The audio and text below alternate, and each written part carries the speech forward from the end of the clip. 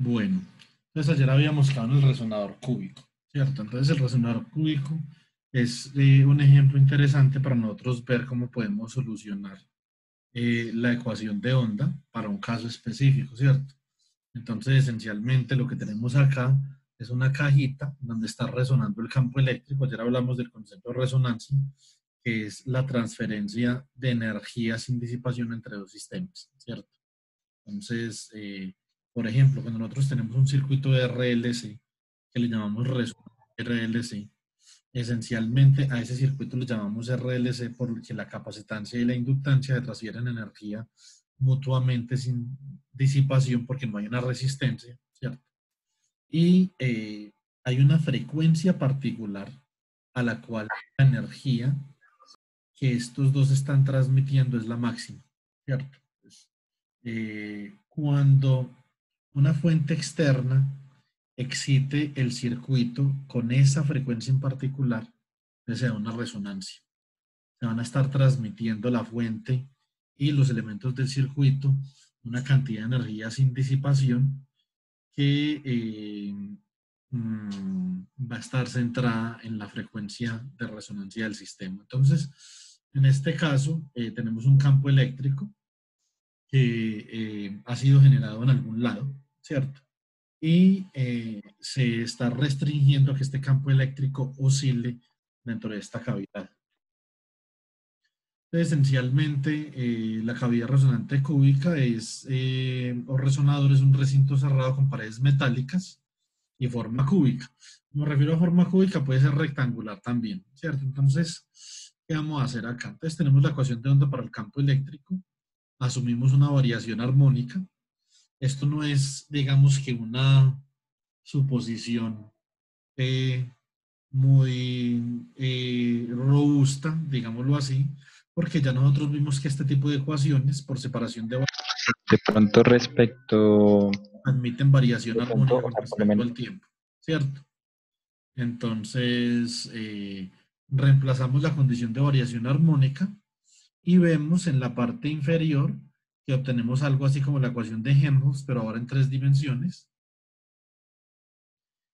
Y ahora lo que vamos a hacer es lo siguiente. Entonces, eh, como esta ecuación Dejemos una ecuación vectorial, como ustedes pueden observar. Entonces, vamos a, mm, suponer que el campo eléctrico está en una dirección, una dirección denotada por el vector unitario E y que eh, en esa dirección el campo eléctrico depende de tres funciones, cada una que depende de x, y, z, y cada una de esas funciones depende de un parámetro k sub x, k sub y y k sub z, que son los correspondientes vectores de onda, y el laplaciano vectorial es simplemente el, el laplaciano de eh, cada una de las componentes, el laplaciano escalar de cada una de las componentes del campo. De, todas formas, si esto lo hiciéramos por componentes, saldrían tres ecuaciones escalares de ejemplo, si no habría mucho problema, pero lo vamos a simplificar asumiendo que esa dirección E es la dirección Z. Eh, ¿Por qué podemos nosotros hacer esto? Entonces, nosotros esencialmente podemos hacer esto porque no hay polarización. Entonces, cuando en las ecuaciones de Maxwell nosotros tenemos la polarización, se rompe la invarianza traslacional y la invarianza rotacional de los campos también cuando hay magnetización y eso implica que nosotros no podemos escoger una dirección arbitraria para la oscilación de un campo, como en el caso en el que no tengamos fuentes y en el que no haya polarización y magnetización. Entonces eso es importante, ¿cierto? Como en este caso estamos en la ausencia de polarización porque no estamos en medios materiales, entonces podemos escoger una dirección arbitraria para la oscilación del campo. Y eso es lo que hemos hecho. Entonces, esencialmente, ¿qué hacemos? Escribimos la ecuación de Helmholtz para eh, la componente E sub 0z, ¿cierto? Y entonces de ahora en adelante, eh, en el procedimiento que vamos a hacer, vamos a hacer eh, separación de variables como lo hicimos el día de ayer, pero ahora con una ecuación en tres dimensiones. Entonces vamos a hacer lo siguiente. Vamos a suponer que E0Z de R es un producto de tres funciones que a su vez dependen de X, Y y Z. Eh, una vez que yo di este un curso parecido, alguien me preguntó porque la componente en Z depende de X y de Y también. Una componente simplemente es, eh, eh, es un vector en una determinada dirección, o la componente de un vector en una determinada dirección, ¿cierto? No es nada más. Pero eh, el hecho de que esté en esa dirección no quiere decir que esté confinada a ser isotrópica en esa dirección. ¿A qué me refiero? Que en cualquier punto del espacio, esa función o esa componente puede depender de x, de y, de z, ¿cierto? Entonces, no solamente va a depender de Z porque está en esa dirección, también puede depender de X y de Y. Y de hecho, en el caso más general, va a depender de X y de Y, ¿cierto? Entonces, es como usted decir, por ejemplo, la onda que teníamos ayer, bueno, ¿dónde está la onda? Esta onda, naturalmente ustedes pueden ver que esa onda se está, eh, la onda azul, la onda azul está vibrando en dirección Z, ¿cierto? Pero esa onda también eh, va a tener un valor para un y particular y va a tener un valor para un x particular que va a ser cero, ¿cierto?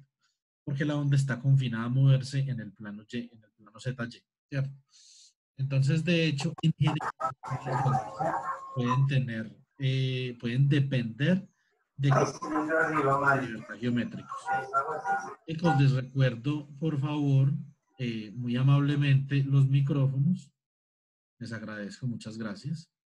Entonces, eh, eso es importante como para que no haya confusión con respecto a eso. Eh, entonces, la componente puede y dependerá de los tres grados de libertad geométricos que tenemos X, Y y Z, ¿cierto? Entonces, ¿qué vamos a hacer? Ustedes van a seguir los colores. Entonces, tenemos que la primer función de la cual depende E0Z es E sub KX super Z de X, la segunda es E sub KY super Z de Y y la tercera es E sub KZ super Z de Z, ¿cierto? Entonces, eh, ahora, las vamos a reemplazar en la ecuación de Helmholtz, ¿cierto? Y todo lo demás que no dependa de esas tres funciones lo vamos a dejar en púrpura. Ustedes van a ir siguiendo los colores. Las reemplazamos. Naturalmente, el laplaciano con respecto a x solo actúa sobre e sub kx super z de x, similarmente para los otros términos y dividimos la ecuación por toda la función, es decir, por el producto de las tres funciones individuales como lo hicimos la clase pasada. Y ustedes pueden ver que hay unos términos que se cancelan. Los únicos términos que no se cancelan son los términos que en el color coinciden con la función a la cual se le está sacando la segunda derivada, como ustedes pueden ver. Pues ahí está claro en los colores qué es lo que se cancela y qué no se cancela y el último término naturalmente se cancela por completo. Y obtenemos una ecuación parecida a la que habíamos obtenido ayer, mm, que esencialmente separa los grados de libertad de una forma muy clara y muy obvia. Entonces tenemos una ecuación para el grado de libertad en X, una ecuación para el grado de libertad en Y, una ecuación para el grado de libertad en Z, y K al cuadrado, como es el módulo de un vector de onda, es la suma de las componentes del, del vector al cuadrado. Entonces acá, para poder que esa expresión que nosotros teníamos de cero, como les había explicado ayer, cada uno de esos términos debe ser una constante. Porque si el término que depende de x es, por decir, una función de x, el de y es una función de y y el de z es una función de z, esa suma solo va a ser cero cuando esas tres funciones sean cero, ¿cierto? Entonces, o, o cuando cada uno de esos términos sea una constante y se cancele con la suma de los términos kx cuadrado, ky cuadrado, kz cuadrado, escogemos convenientemente que el primer término, el término en rojo, sea menos kx al cuadrado, el término en azul menos ky al cuadrado, el término en verde menos kz cuadrado, y así obtenemos tres ecuaciones diferenciales ordinarias y las reagrupamos, las reorganizamos y obtenemos tres osciladores armónicos. Entonces ya tenemos el problema de la ecuación de Helmholtz, está completamente separado, ¿cierto? En términos de grados de libertad, tenemos una ecuación independiente para, grado, para cada grado de libertad y las podemos resolver eh, de una manera muy sencilla. Nosotros sabemos que para un kx en particular, como lo hicimos la vez pasada, recuerden que esto es para una constante en particular. Para nosotros poder construir una solución lo más general posible, tenemos que sumar las soluciones para cada una de esas componentes en particular. Eso lo recordamos bien, ¿cierto? Eh, y de la forma más general posible, la solución a cada oscilador armónico es la superposición de un término de E a la I kx por x y E a la menos i kx por x. Como había dicho Nicolás ayer, según le entendí, cada una de las soluciones que se superponen para dar una solución debido a la linealidad deben de ser linealmente independientes. Es decir, e a la i kx y a la menos i kx deben de ser linealmente independientes, que de hecho lo son. Porque no hay ninguna constante por la cual usted multiplique coseno más i seno que le dé coseno menos i seno, ¿cierto? Entonces, eh, mm, este es el concepto de linealidad y de superposición del que nosotros estábamos hablando ayer, pero como cada como, como cada oscilador armónico que hemos obtenido tiene una solución independiente, y son soluciones similares, entonces vamos a trabajar, debido a esa isometría, trabajamos con una solución genérica que se muestra en la cuarta línea, que es A sub K, donde K puede ser K de X, K, Y o K, Z, de, de sí, ¿cierto? Esta letra griega sí puede ser X, Y o Z. Entonces vamos a imponer las siguientes condiciones de frontera. Vamos a decir que el campo eléctrico va a ser cero en las paredes de la cajita. Entonces, como ustedes pueden ver en la cajita, Ahí se puede apreciar que esta solución corresponde con las condiciones de frontera. El campo eléctrico es cero en, las, en las fronteras de la caja o en las paredes de la caja, en las paredes metálicas. Y entonces eh, L es la longitud o L es la dimensión en la dirección de propagación indicada por K. Si KX indica la dirección de propagación en X, entonces L es eh, la dimensión en, por decir, en el eje X. Entonces, vamos a tener dimensiones LX, LY y LZ. Entonces, esto es lo más genérico posible. Ahora, vamos a observar. Pues, aplicamos la primera condición de frontera. Entonces, obtenemos que P ha de ser igual a menos Q, que son las de la solución. Y después aplicamos la segunda condición de frontera. Entonces, reemplazamos P, mm, Q por menos P nos queda P que multiplica a E a la I, a la menos IKL. Y esto nos queda 2IP seno de KL. Y esto debe ser cero. Naturalmente P no va a ser cero, porque entonces todo el campo eléctrico sería cero. Entonces, ¿qué es lo que nosotros debemos asumir? Que K por L ha de ser igual a un número de forma tal que el seno siempre sea cero. Y eso es cualquier entero por pi. ¿Cierto? Entonces, de acá obtenemos una relación de cuantización para el vector de onda. Ahora, esto es una cosa que eh, ayer quería discutir y de hecho la discutimos someramente. Eh, este tipo de problemas en una caja o en un resonador son problemas que debido a las condiciones de frontera exhiben una cuantización en el vector de onda, ¿cierto? Como ustedes podrán recordar, esto se parece mucho al problema de mecánica cuántica de una partícula en una cajita que sigue siendo una onda en un resonador, ¿cierto? El mismo problema que tenemos clásicamente acá lo tenemos a nivel cuántico allá. Entonces, esos problemas con la ecuación de Schrödinger no son los únicos problemas que admiten cuantización. Entonces, realmente la cuantización de la energía en el problema de la partícula en una caja de potencial no es un problema que corresponda única y exclusivamente a la mecánica cuántica. Es un ondulatorio. Ustedes también pueden ver, como les expliqué ayer, en, en un tubo abierto, semiabierto, cerrado, ustedes pueden ver que los modos propios de oscilación están cuantizados, es decir, las formas posibles como la onda de presión puede oscilar en ese tubo, eh, son, eh, vienen, vienen determinadas por una frecuencia que es múltiplo y una frecuencia fundamental, ¿cierto?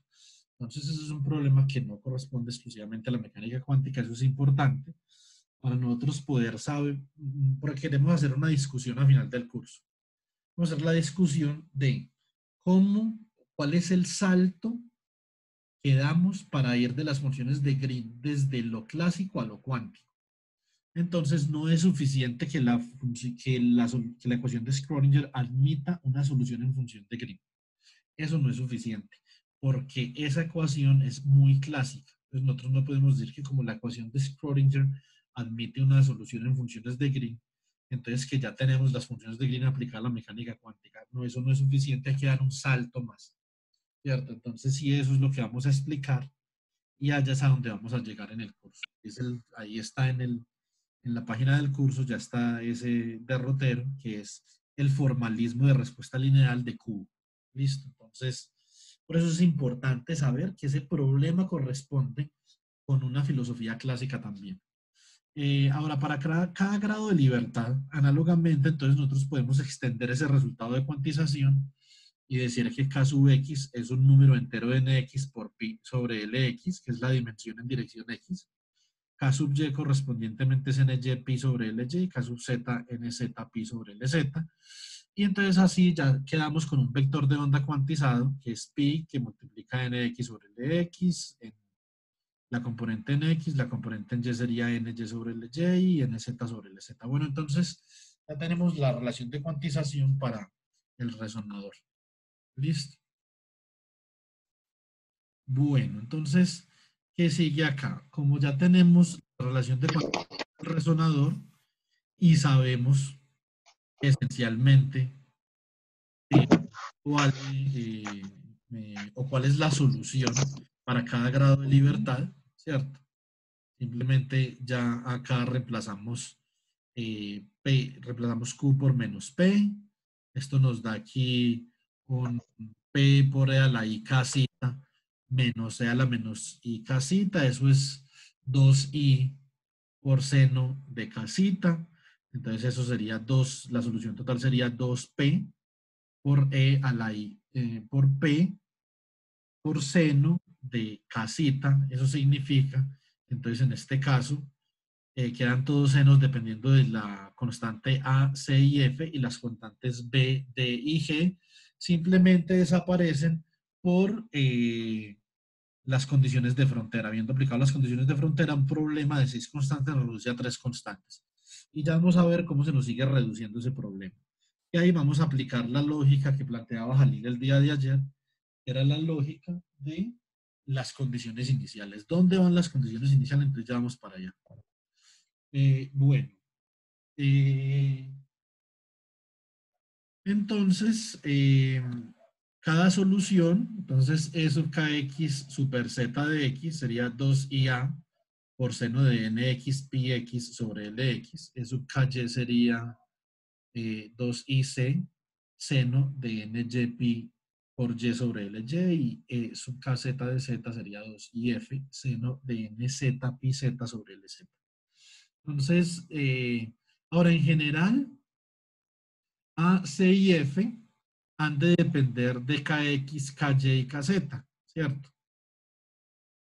¿Cuál es una diferencia fundamental de esto con, con el problema de Schrödinger, además de la que les mencioné ayer? Ayer les dije que eh, esencialmente una diferencia fundamental es que la función de onda de esta ecuación clásica es observable y la función de onda de la ecuación de Schrödinger no es observable, ¿cierto? Lo que es observable es el módulo al cuadrado de la función de onda.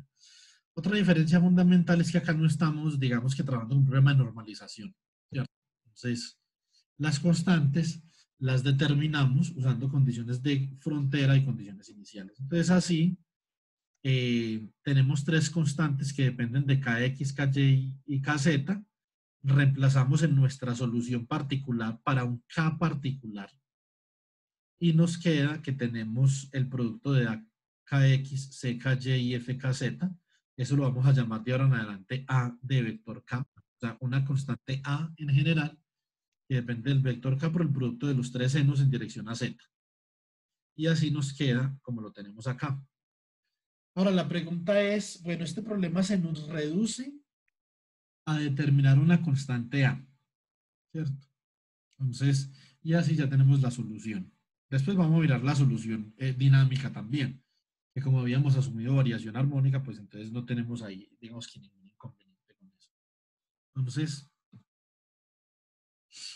Vamos a sumar para todos los KX, KY y KZ para obtener la solución más general posible, lo cual es permitido por la linealidad del problema. Entonces, la suma de las soluciones individuales es también solución. Y acá ya hemos agregado la variación temporal que es a menos i omega t. Entonces, ¿por qué esto queda un poquito diferente del caso, por ejemplo, que vimos ayer con series de Fourier, que era con un coseno? Esencialmente porque nosotros no solucionamos el problema eh, de dependencia temporal, sino que simple asumimos una variación armónica. Eh, ya vamos a analizar eso con respecto a estas dos soluciones que tenemos aquí abajo. Entonces, esencialmente, vamos a ver por comparación quién es esta constante A de vector K. Ahora, para visualización sería más simple trabajar en dos dimensiones. ¿Cómo puedo ir yo de una dimensión a otra? Entonces, eso se puede hacer de varias formas, pero esencialmente eh, eh, lo que sucede es que si, si la dinámica está confinada en la dirección Z, si usted hace LZ mucho más pequeño que LY, entonces realmente las variaciones en dirección Z van a ser pequeñas. Eso es lo que nosotros pensamos en materia condensada cuando hablamos de un sistema 2D o de un sistema 1D. Son sistemas que en la práctica realmente no son realizables, ¿cierto? ¿Qué es lo que se hace? Lo que se hace es que eh, imponemos un potencial de confinamiento. Confinamos una o dos direcciones del problema. Y cuando confinamos una o dos direcciones del problema, como vemos aquí en la línea de abajo, existe un vector de onda que ya no es independiente para kx y para ky, sino que es un vector de onda que realmente es la suma de dos contribuciones de vectores de onda de dos de los grados de libertad, ¿cierto? Entonces, eh, eso se debe al confinamiento. ¿Listo? Entonces, ahora esta solución que tenemos aquí para dos dimensiones la vamos a comparar con la solución en series de Fourier, que los que han visto físico-matemática o métodos matemáticos para la física estarán muy familiarizados con esta solución. Entonces, esencialmente, ¿cuál es la diferencia entre estas dos? La diferencia, bueno, tenemos los senos, que son, dependen de un número, eh, de un número entero por pi por x dividido una dimensión, tanto en dirección x como en dirección y. Y si usted elige, por ejemplo, en la segunda línea expresar e a la menos i omega t como coseno de omega t menos seno de omega t, pues le va a quedar algo como lo que tenemos aquí abajo, ¿cierto? Que es gmn coseno de kmn ct. Eh, naturalmente, eh, como omega es igual al vector de onda por la velocidad, entonces por eso expresamos esto como k por c, más hmn seno de kmn ct. Bueno, entonces, realmente tenemos que determinar eh, o quién es A o quién es G y quién es H. ¿cierto? En, veamos que en el lenguaje de las series de Fourier o del análisis de Fourier, GMN y HMN van a depender de la condición inicial de la onda, que como habíamos dicho el día de ayer, es lo necesitamos para poder evolucionar en el tiempo. Ayer habíamos comenzado en el problema de la onda en una cuerda tensa, habíamos comenzado con una condición inicial f de x y después con esa condición inicial eh, eh, hallábamos eh, su representación en series de Fourier y con esa representación podíamos escribir de la forma más general posible la solución para el problema dinámico. Esencialmente eso es lo que tenemos que hacer acá. Entonces, si nosotros reemplazamos a t por t igual a 0, que sea nuestra condición inicial, entonces esencialmente podemos ver que h sub mn es 0 y que de alguna forma g sub mn va a coincidir con a sub k cuando la solución del campo eléctrico para el resonador se tome como la parte real, ¿cierto? Entonces, y si t es igual a 0, en la cuarta línea, entonces, eh, decimos que el coeficiente de Fourier GMN se define mediante esta expresión, que simplemente es el coeficiente de Fourier para expresar la solución E de x, y, 0, como la suma sobre n y sobre m de GMN seno de n pi x sobre a por seno de m pi y sobre b, donde eh, el, el vector de onda k sub mn al cuadrado es la suma de los vectores de onda individuales al cuadrado, tanto en la dirección X como en la dirección Y. Listo. Bueno, entonces eh, les eh, recuerdo lo de los micrófonos, chicos. muy bien. Entonces, eh, bueno, entonces continuamos. Entonces ya sabemos la respuesta a la pregunta que hizo Jalil el día de ayer. Entonces, ¿dónde están las condiciones iniciales o para qué sirven las condiciones iniciales? Las condiciones iniciales entran en este caso, que GMN es el coeficiente de Fourier con el que yo represento la función inicial que describe la onda. Entonces, ese es el, ese es la, el uso de las condiciones iniciales en este caso es para determinar la representación de Fourier de esa condición inicial. Y ese coeficiente de Fourier con el que yo expando la condición inicial viene aquí en la solución como GMN. Es decir, este A que nosotros tenemos acá no es otra cosa que el coeficiente de Fourier de la condición inicial para el campo eléctrico del resonador. Eso es todo. Ahí no hay nada más que decir, ¿cierto? Entonces, bueno, que eso es realmente lo que habíamos explicado ayer cuando hicimos la simulación. Yo les dije que ahí iba el coeficiente de Fourier. Vamos a retroceder a, a la ecuación de la onda tensa. Es la solución. Entonces, aquí ese coeficiente de Fourier, pero para el caso en una dimensión, es este lambda sub n. Y hay que determinarlo para poder tener una solución completa, la solución más general posible. Ahora, ¿eso cómo se determina? Eso ya lo vemos mañana, ¿cierto? Pero de la forma, no, no porque se necesite mucho en el contexto que estamos desarrollando, sino simplemente como para no perder generalidad y para llegar a la transformada de Fourier cómo a partir de una serie de Fourier llegó a la transformada de Fourier. Eso es, eh, digamos que un tema importante que tenemos que tratar. Bueno, entonces, volvemos acá a nuestra solución. Ahora esta solución, si yo por ejemplo grafico esto para un solo modo, ¿qué significa graficar esto para un solo modo? Eso significa graficarlo para un n particular y para un m particular. Entonces, esencialmente lo que yo tengo es algo así, ¿cierto? Que perfectamente, o sea, si su condición inicial es un seno o un, o un coseno, o en este caso el producto de senos por cosenos, pues el coeficiente de Fourier sencillamente va a ser eh, solamente finito para eh, esa frecuencia particular que usted está representando en el producto de senos en X y en Y, ¿cierto? Entonces, para el resto de m y n va a ser simplemente cero.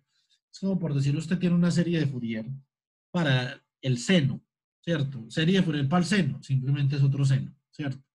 Entonces, o sea, el coeficiente de Fourier para, si es seno de x, el coeficiente de Fourier para 2x, eh, para 3x, 4x, lo que sea, simplemente cero, ¿cierto? Entonces, eh, mm, y así es como nosotros podemos ver el resonador y dependiendo de lo que sea la amplitud, realmente, digamos que pueden haber algunas variaciones. Por ejemplo, la amplitud puede ser bien una gaussiana, entonces lo que usted va a tener es que mientras el, la onda de campo eléctrico se acerque más a las paredes, entonces debido a la dispersión de la gaussiana, esencialmente va a decaer más o menos rápido si eh, la amplitud eh, la amplitud de la que estamos hablando en la solución D es simplemente 1, pues lo que tenemos es un resonador completamente oscilatorio a una sola frecuencia, ¿cierto? Entonces, este es un ejemplo de cómo podemos llegar fácilmente a esta solución de la ecuación de onda en términos de series de Fourier. Yo creo que este ejemplo del resonador cúbico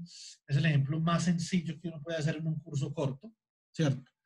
Eh, está, por ejemplo, el libro de análisis de Fourier, de Huey Psu. Eh, en el capítulo 8 están los problemas en las condiciones de frontera y ustedes pueden estudiar cómo se aplican las series de Fourier a problemas como la ecuación de Laplace, como la ecuación de Poisson, la ecuación de onda, eh, vibraciones en membranas reticulares, ecuación de difusión, la ecuación de calor. Bueno, ahí están todos los ejemplos más clásicos. Entonces ahora podemos eh, avanzar un poquito. Bueno, eh, si hay alguna pregunta, por favor me la escriben en el chat para que no nos vayamos a quedar atrás ahí con las dudas. Listo. Bueno, estoy esperando a ver si hay alguna pregunta. Voy a esperar unos 30 segundos. Bueno, tenemos 46 participantes en este momento. Es más o menos la asistencia promedio de los resto de los días. Entonces, bueno, entonces continuamos. Ecuaciones de Maxwell en forma fasorial. Eh, eh, la forma fasorial de las ecuaciones de Maxwell es simplemente importante para uno poder verificar lo que preguntaba el profesor Osman hace algunos días, cuál es la relación de fundamentalidad entre el campo eléctrico y magnético y si siempre son ortogonales, como les expliqué, estamos hablando de que PH sí, ¿cierto? Entonces, ¿qué tenemos nosotros? Entonces, eh, la forma fasorial de algo, o qué es un fasor. Un fasor esencialmente es un vector en un plano fase que rota a frecuencia constante o que gira a velocidad constante o velocidad angular constante, ¿cierto? Entonces, esencialmente, eso a qué se asemeja. Cuando algo está rotando en un plano a velocidad constante, eso se asemeja al seno o al coseno de algo a frecuencia constante, ¿cierto? Entonces, el fasor realmente es una representación de la variación armónica de un campo, ¿cierto? Entonces, en general, si nosotros tenemos un campo F que varía de forma armónica, si f es 0, es simplemente eh, la parte vectorial de ese campo. Entonces podemos expresar el campo como se muestra en la primera línea. Y si utilizamos el producto punto entre K y R, siendo R un vector en base cartesiana, entonces lo podemos expandir como se muestra en la segunda línea, para que sea más fácil calcular las derivadas. Y ese vector K, entonces sabemos que está dado por lo que dice en la tercera línea, es KX, KY y KZ.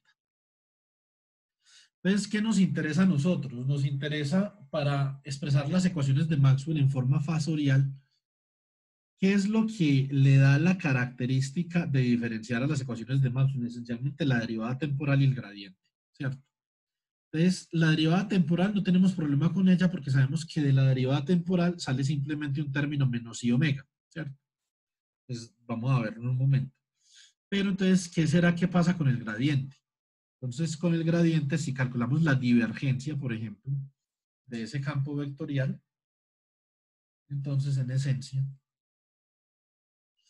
eh, tenemos que calcular esas derivadas de eh, esas partes de los campos con respecto a x, y y z, y nos dan que cada derivada es i kx o i ky o i kz por la componente correspondiente. Cuando reemplazamos eso en la fórmula para la divergencia, vemos que la divergencia derivada de fx con respecto a x más derivada de fy con respecto a y más derivada de fz con respecto a z es simplemente ikx por fx más iky por fy más ikz por fz y esto lo podemos expresar como un producto punto.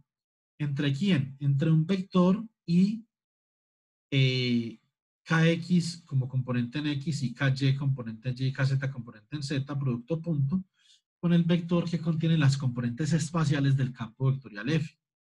De esta forma, por analogía, nosotros podemos establecer que la representación para el gradiente es simplemente i por el vector k.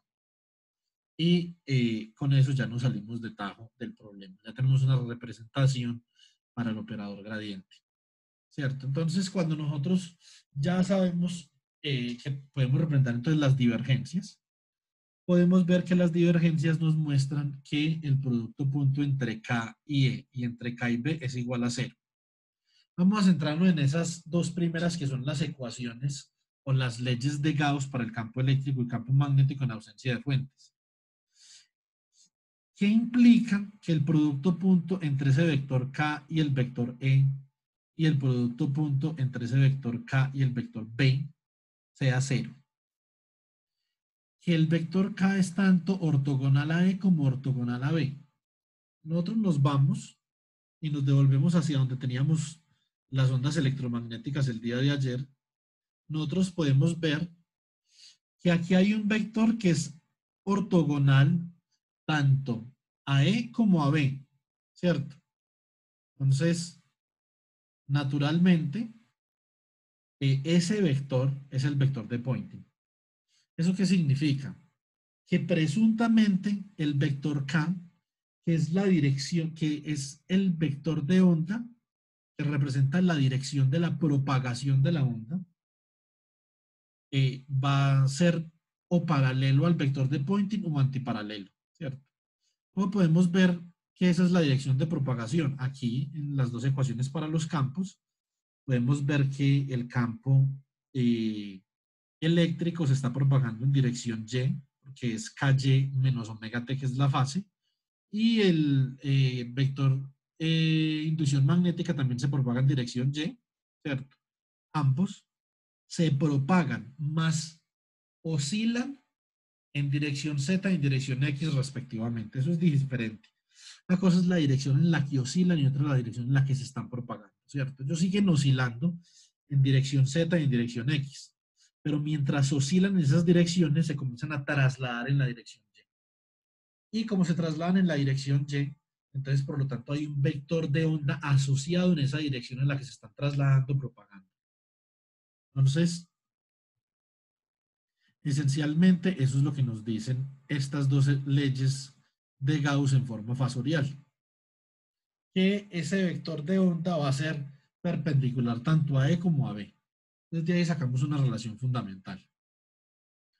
Ahora, ¿cómo sabemos si es paralelo o antiparalelo al vector de Poynting? Tenemos que utilizar las otras dos leyes y mirar los productos cruz, cómo nos dan, ¿cierto? Entonces, eh, de eso nos vamos a encargar en este momento. Vamos a comenzar con eh, la, ley de, la ley de Faraday. Ahora, no hay ningún problema con la derivada con respecto al tiempo del campo, con variación armónica. Entonces aquí en la tercera línea, yo creo que está muy claro que la derivada de cualquier campo con variación armónica es menos i omega por el campo como tal, ¿cierto? En el caso fasorial, ¿cierto? En el caso fasorial en donde el campo varía armónicamente y con respecto a una sola frecuencia, o sea, es un campo monocromático, ¿cierto? Entonces, ya tenemos la representación para la derivada temporal y tenemos la representación para el gradiente. Las reemplazamos. Nos queda IK cruz E sub 0 de R, que es la componente espacial del campo, por la componente armónica, que es E a la menos I omega T igual a I omega. El menos de la derivada armónica se cancela con el menos de la ley de Faraday-Lenz. Nos queda I omega B sub 0 de R por E a la menos I omega T y en resumen, obtenemos que el producto cruz entre el vector de onda y la componente eh, de campo eléctrico que varía espacialmente es igual a una constante omega por el campo magnético. Ahí nos damos cuenta, naturalmente, que el campo magnético es un vector normal al plano que está conformado por el vector K y el vector E. Entonces, si nosotros pensamos en esto y nos volvemos otra vez para la onda electromagnética, entonces nosotros podemos ver muy bien, acá hay un plano que está por K y por eh, E, que va a ser el plano YZ. Y como B está en X, naturalmente X es un vector normal al plano YZ. Entonces, digamos que con esa fórmula no tenemos problema. Ahora, el producto cruz entre E, entre el vector E, o más bien entre el vector K y el vector E, si ustedes utilizan la regla de la mano derecha, les va a dar en dirección X positiva. Por lo tanto, de esa relación de eh, Faraday-Lenz obtenemos que el vector de propagación es paralelo al vector de Poynting. Entonces así es como nosotros podemos justificar que el vector de Poynting, la dirección en la que se propaga la onda, es en esencia eh, eh, proporcional al vector de onda, ¿cierto? Eso digamos que es algo muy intuitivo, pero nosotros lo podemos obtener a partir de un análisis fasorial de estas leyes, ¿cierto? Entonces, Ahora, vamos con la ley de Ampère-Maxwell. Rotacional de B igual a mu sub 0, epsilon sub 0 por la derivada de E con respecto al tiempo. Reemplazamos cada representación, la representación del gradiente y la representación de la derivada temporal. Y obtenemos, haciendo las simplificaciones correspondientes, que K cruz B es igual a menos omega mu sub 0 epsilon sub 0 por E. Entonces, si nosotros vamos a la gráfica de las ondas electromagnéticas y utilizamos la regla de la mano derecha y enrollamos nuestros dedos en dirección K, o colocamos nuestros dedos en, en dirección K y los enrollamos hacia la dirección de B, pues nos damos cuenta que el pulgar apunta en la dirección menos a Z. Por lo tanto, se cumple esta relación de fundamentalidad. Entonces, estas relaciones de fundamentalidad nos eh, corroboran que los campos eléctricos y magnéticos son perpendiculares, pero no solo eso, sino que nos corroboran que eh, los campos eléctricos y magnéticos están propagando en una dirección determinada por el vector de onda. Acá resumimos las leyes de Maxwell en forma fasorial. Hay mucho, yo simplemente les quería introducir este concepto. Hay mucho que se puede hacer con las leyes de Maxwell en forma fasorial. Podemos determinar, como yo les dije ayer, relaciones de la teoría electromagnética de la luz, leyes de Snell, leyes eh, de eh, Fresnel, eh, impedancia de una onda electromagnética en el vacío. Hay muchas cositas que se pueden hacer, sino que digamos que ese no es el objetivo del curso, entonces no vamos a invertir tiempo en ese menester, pero se pueden hacer algunas cositas. Recuerden que para la parte de óptica, a los que les interesen, deben de combinar estas nociones que hemos repasado con las condiciones de frontera tangenciales y normales para cada campo. ¿Listo? Entonces, esas reglas de la teoría electromagnética de la luz son una combinación de estos conceptos con las condiciones de frontera tangenciales y normales. O sea, eso no salía aquí así como por arte de magia. Hay que saber cuáles son las condiciones de frontera, cómo es el campo eléctrico tangencial a la frontera en un lado de la frontera al otro lado, cómo es el campo eléctrico normal a la frontera en un lado y en el otro lado. Entonces, todas esas eh, situaciones hay que conocer. Bueno, entonces ahora vamos a repasar las ondas electromagnéticas no homogéneas. Nosotros habíamos llegado hasta acá el viernes, ¿cierto? Entonces, y habíamos conversado un poquito de qué era lo que se requería con respecto a esto. Entonces, eh, mm, esencialmente vamos a repasar esto y vamos a pensar eh, en lo que vimos ayer de la onda progresiva y regresiva, pero ahora vamos a pensar en el tiempo. Porque eso eh, esto lo comenzamos el lunes o el martes, eh, Dios mediante el lunes. Tenemos que comenzar a pensar para poder determinar cuál es la característica fundamental de dos funciones de Green que vamos a introducir en el curso, la causal y la anticausal, cuáles son sus características fundamentales en términos de la solución de ecuaciones de onda no homogéneas, ¿cierto? Entonces ahí hay algo de relatividad, pero digamos que eso no lo vamos a pasar por encima, por cuestiones de tiempo, pero yo les sugerí a ustedes que eh, estudiaran cómo se transforman los campos del libro de Schwinger. Que de hecho ahí también les mandé un material del libro de Schwinger para que preparen digamos, la parte de las ondas, eh, de las ondas electromagnéticas no homogéneas con funciones de Green, esos capítulos que les envíen no están muy detallados. Nosotros en clase lo vamos a ver muy al detalle, ¿cierto? Entonces, pero digamos que es una lectura importante que ustedes pueden ir haciendo. ¿Qué vimos la semana pasada sobre las ondas electromagnéticas? Vimos que en el caso en el que nosotros realmente podamos eh, incluir la variación temporal de los potenciales. Entonces, ahora en este caso, podemos decir que eh, eh, E ya no es un campo conservativo, pero la suma de E y la derivada del potencial vectorial dinámico con respecto al tiempo sí es conservativo, ¿cierto? Entonces eso lo discutimos en la clase pasada y vimos, como dice en azul, el campo eléctrico ahora es el menos gradiente de un potencial escalar menos la derivada con respecto al tiempo de un potencial vectorial. Y esto tuvo, digamos que, una cantidad eh, importante de consecuencias en obtener las ondas electromagnéticas no homogéneas para los potenciales escalares y vectoriales, ¿cierto? Entonces, Ahora, lo primero que hicimos fue eh, replantear la ley de Gauss en términos de, de, estos potenciales. De estos nuevos potenciales electrodinámicos. Y obtuvimos que entonces el menos laplaciano del potencial escalar menos la derivada con respecto al tiempo de la divergencia del potencial vectorial era igual a la densidad de carga sobre epsilon sub cero. Ahora, después hicimos lo propio con la ley de Maxwell. Entonces, ¿qué fue lo que hicimos? La ley de Ampère-Maxwell.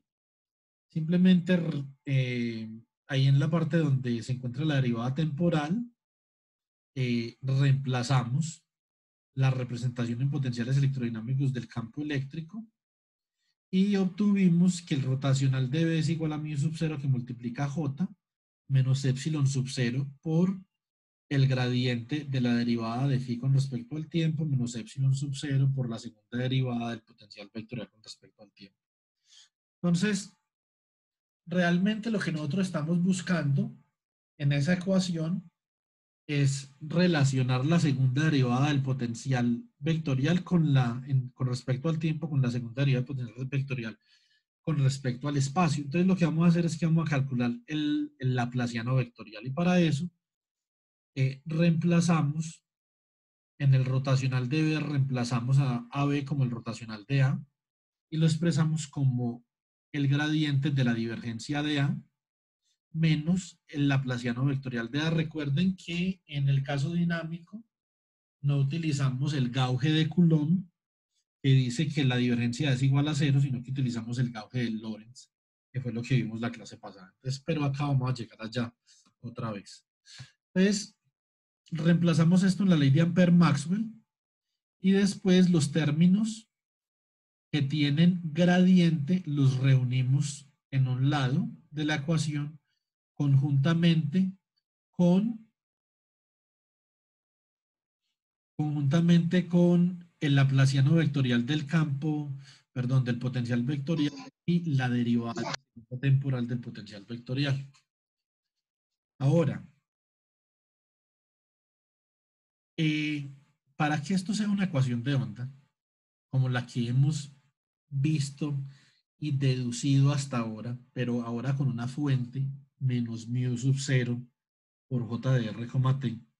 Entonces lo que está en púrpura lo tenemos que hacer cero, ¿cierto? Y esencialmente eso garantiza que eh, el campo o el potencial vectorial radie, ¿cierto? Entonces estas son las ecuaciones de radiación electromagnética. Entonces, eh, este, este, esta calibración que escogemos para los potenciales se llama la calibración de Lorentz. ¿Listo? Entonces, así obtenemos una ecuación de onda electromagnética no homogénea para el potencial vectorial A y si reemplazamos esa condición de Lorentz, aquí en el caso de la ley de Gauss que habíamos obtenido en términos de esa divergencia de A, nos da que esa divergencia de A por la condición de Lorentz es menos mu sub 0 epsilon sub 0 por la eh, derivada del potencial eh, escalar dinámico con respecto al tiempo. Entonces reemplazamos esto, utilizamos el color azul porque la ecuación de Poisson la habíamos hecho en colorcito azul y de ahí obtenemos la ecuación de onda electromagnética para el potencial escalar. Y eh, comparada con la ecuación de onda electromagnética para el potencial vectorial, vemos que son dos ondas electromagnéticas que se propagan a la misma velocidad y que son, digamos, duales en las fuentes. La fuente de una se obtiene reemplazando a la densidad de carga por la densidad de corriente y reemplazando a epsilon sub 0 por 1 sobre mu sub 0. Entonces, esas son las relaciones de simetría fundamentales que tienen estas ecuaciones dinámicas, ¿cierto? Entonces, eh, cuando acabemos esta sesión, vamos a discutir algo sobre unidades para las personas que están leyendo el libro de Schwinger. Quiero que, digamos, estén conscientes de una situación con la que se pueden enfrentar cuando lean el libro. Listo. Bueno, entonces, ahora, estas, estas dos ecuaciones de radiación electromagnética que nosotros tenemos acá. admiten una solución en funciones de Green si yo, digamos que pienso de la forma más general posible en una ecuación de onda como la que tengo al lado izquierdo en la primera línea, ¿cierto? Donde f de r, t la conocemos como la excitación y si de t es la respuesta. Ahora, cuando f de rt, como vamos a ver, se convierte en un impulso de Dirac en r menos r' por un impulso de Dirac en t menos t', entonces la respuesta si de r, t se convierte en la función de Green. Es decir, la función de Green, sin pérdida de generalidad, la podemos definir como una respuesta impulsiva a un problema de condiciones iniciales y condiciones de frontera. Esa es la forma más sencilla de definir una función de Green. Entonces, cuando uno le pregunten, ¿qué es una función de Green? Simplemente es una respuesta al impulso de un problema eh, de autofunciones con condiciones de frontera y condiciones iniciales. Entonces, eso es lo que ustedes deberían de responder. Bueno.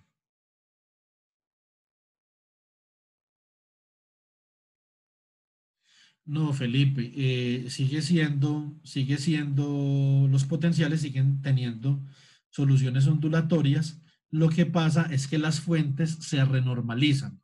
Es decir, la solución ondulatoria depende de las fuentes. Entonces, cuando usted utiliza el gauge de Coulomb y no el gauge de Lorentz, lo que usted tiene es que tiene una nueva fuente, es decir, una nueva densidad de carga y una nueva densidad de corriente, pero siguen, la, parte del problema de autofunciones sigue siendo un problema de, eh, un problema de ondas, ¿cierto? ya lo que cambiaría serían las fuentes. Entonces ya no sería J, la fuente no sería J, sino que sería J menos la divergencia de una cosa, ¿cierto? Entonces, eh, esa es una buena pregunta, de hecho muy buena. El, eh, voy a hacer unas diapositivas para aclarar cómo se renormalizan las fuentes para que discutamos eso el lunes. Listo. Muchas gracias por la pregunta.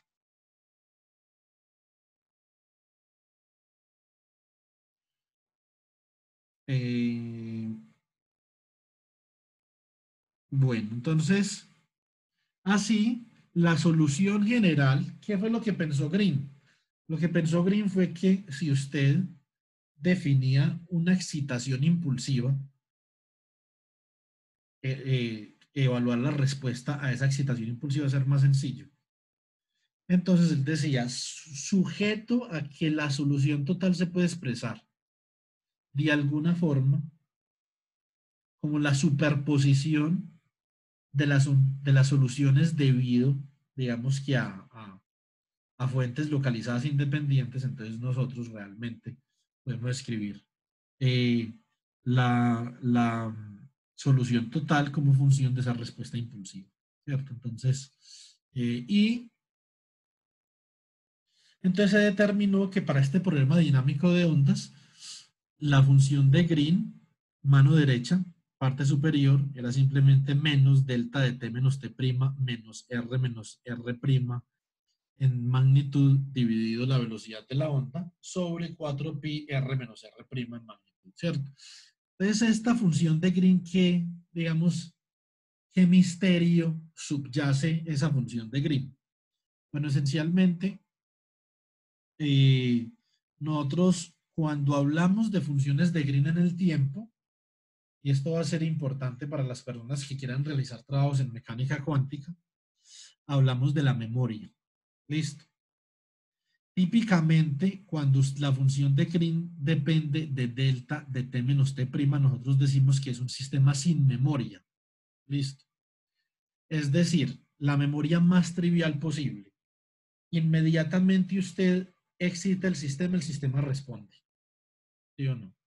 Acá no sucede eso. Acá, como ustedes pueden ver, el tiempo t' es realmente el tiempo t menos un tiempo que tarda la onda en viajar una distancia r menos r' a una velocidad c, ¿cierto?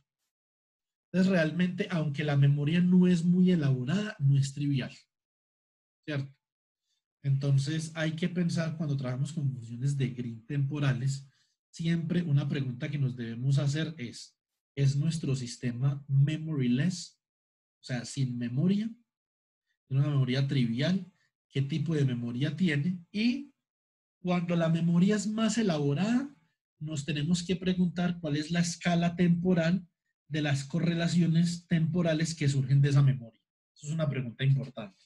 Entonces, si les interesa trabajar en este tema, esas dos preguntas que les acabo de formular las deben escribir para que cuando estén haciendo su investigación la piensen. Piensen en eso. ¿Cuál es la memoria? ¿Cierto? ¿Cuál es la escala temporal de las correlaciones?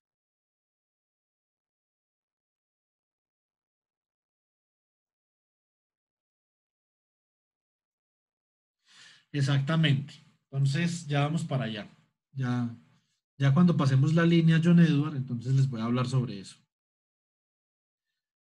Ahora, entonces para el caso de ondas electromagnéticas o de ondas en generales no homogéneas, lo que tenemos es una memoria simple donde la escala de tiempo de las correlaciones es mínima porque es un delta, ¿cierto? O sea, es extremadamente pequeña, pero hay, digamos que correlaciones, ¿cierto? Y esencialmente las correlaciones se pueden resumir en que el tiempo en el que aparece la respuesta, el tiempo t, realmente es igual a quién? Es igual al tiempo en el que se excita el sistema más un tiempo r menos r' sobre s que tarda la onda en propagarse desde que se inicia el sistema hasta que responde el sistema, ¿cierto? Entonces, es un tiempo importante. Ahora, entonces la solución de la ecuación de onda en la forma más general posible, ¿cierto? Es que nosotros tenemos acá, es realmente si rt igual a menos 1 sobre 4pi por eh, d3r', que es el elemento de volumen, por la excitación evaluada en R y en T menos R menos R' sobre C, ¿cierto? Sobre R menos R'. ¿Qué significa esto? ¿Qué es lo que decía John Edward? Que realmente con respecto al tiempo, con respecto al tiempo en el que se excita el sistema, hay un retardo en el tiempo en el que se ve la respuesta del sistema. Por eso este tipo de soluciones se llaman soluciones retardadas o potenciales retardados. Y vamos a ver que eso tiene una relación eh, coyuntural con lo que nosotros llamamos en física la causalidad. Y los potenciales retardados se expresan como eh, la convolución de una función de Green que llamamos función de Green retardada por la excitación. Y en el caso de la respuesta anticausal, es una respuesta no física, pero que es muy importante en la formulación de funciones de Green en mecánica cuántica, entonces vamos a ver que realmente eh, la excitación adelanta, perdón, la respuesta adelanta a la excitación en un tiempo R menos R' sobre C. Es decir, primero responde el sistema y luego se excita, ¿cierto? Entonces, ¿cómo es que uno tiene que ver eso en física? Uno no tiene que ver en física, es ese, digamos que ese apartado, uno no lo ve es que primero el sistema se responde y después se excita. Lo que usted debe de hacer es ver que desde el punto en el que el sistema responde o en el punto desde el que el sistema se excita, la onda se está propagando hacia atrás en el tiempo y no de manera progresiva en el tiempo. Esa es la forma de analizar la física de esto. Entonces nos estamos devolviendo en el tiempo. Eso porque es importante en mecánica cuántica y en, y en digamos que la formulación en la materia condensada. Porque típicamente, cuando nosotros analizamos procesos que se obtienen a partir de romper la invarianza traslacional en el tiempo, es decir, cuando nosotros tenemos un sistema cuántico conectado, por ejemplo, a, un sistema, ya sea, por ejemplo, una molécula, un átomo, un punto cuántico, una cadena de átomos, lo que sea, lo conectamos, por ejemplo, a un metal que tiene un número infinito de electrones y de grados de libertad termodinámicos. Entonces, realmente lo que nosotros nos queremos preguntar es cómo cambia la entropía en ese sistema, ¿cierto? Entonces, para eso, entonces nosotros miramos cómo, eh, cómo, cómo, cómo evoluciona el sistema adelante en el tiempo, cómo evoluciona hacia atrás en el tiempo. Es una relación importante, ¿cierto? Y eh, eso eh, ha de ser determinante en muchas de las propiedades por fuera de equilibrio que adquiere un sistema cuando eh, nosotros rompemos el aislamiento del sistema cuántico y típicamente lo que nosotros vemos en mecánica cuántica son sistemas aislados. ¿Qué pasa cuando nosotros rompemos ese aislamiento? Una pregunta importante. Y para eso necesitamos estas dos formulaciones, la formulación causal y la formulación anticausal.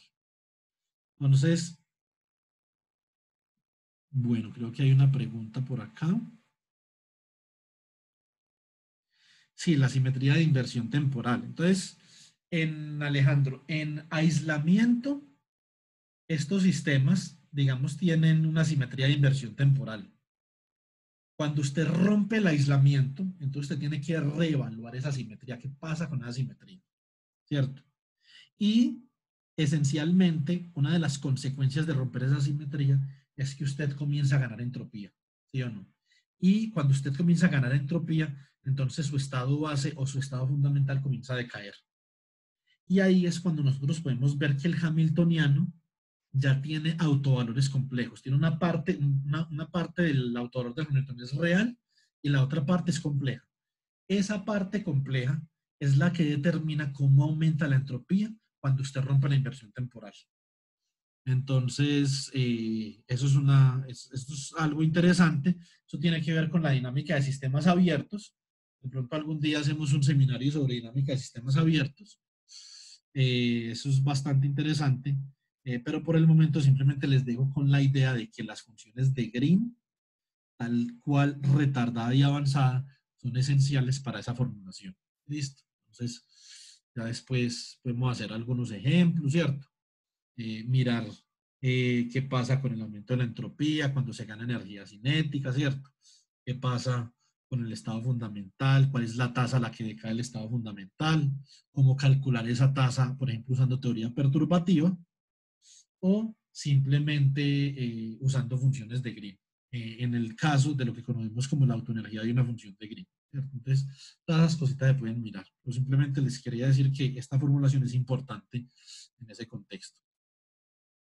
Ahora, la formulación en términos de, función de Green retardada va a ser clave cuando nosotros queramos expresar la respuesta cuántica lineal eh, en un operador debido a otro operador. Es decir, si usted quiere evaluar cómo los cambios en un operador cuántico afectan otro operador cuántico, los cuales están relacionados mediante el hamiltoniano, entonces, para evaluar esa respuesta se utiliza la función de Green retardada y ese formalismo se conoce como el formalismo de Kubo.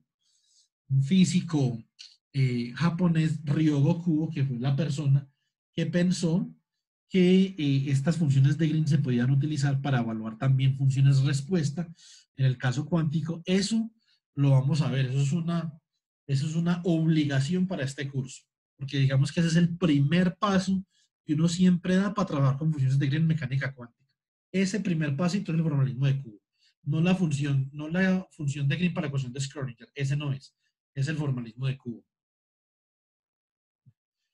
Bueno, entonces esto de las transformaciones Gauge lo vimos eh, el viernes, ¿cierto?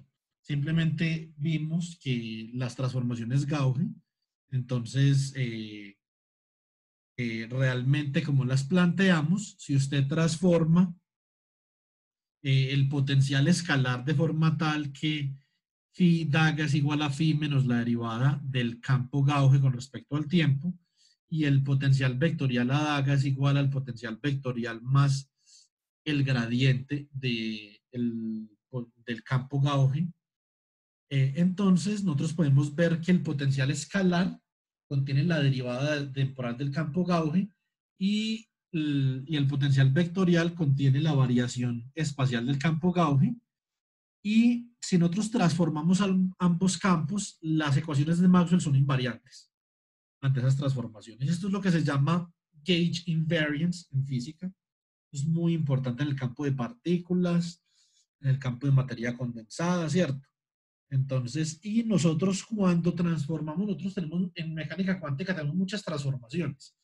Por ejemplo, si usted tiene una vibración interactuando con un electrón y ellos dos están acoplados, usted puede desacoplar los grados de libertad fermiónicos del electrón y los grados de libertad bosónicos de la vibración.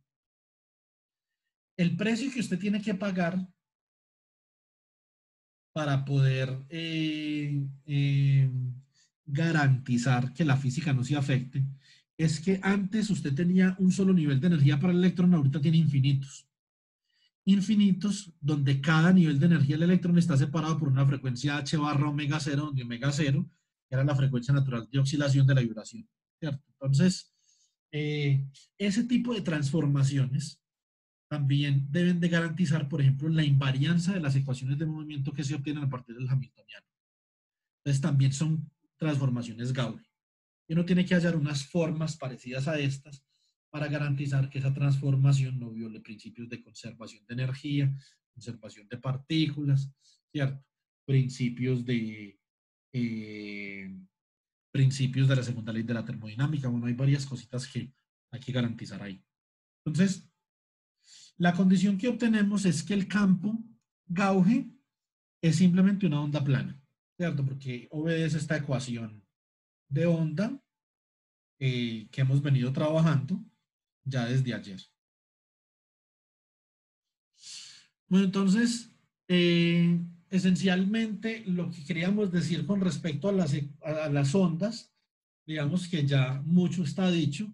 El día de mañana simplemente les voy a dar como un, unas pinceladitas sobre medios materiales y la función de Green para casos amortiguados, muy, muy por encima, y vamos a continuar con análisis de Fourier para poder tener los elementos para resolver las funciones de Green en la semana que viene.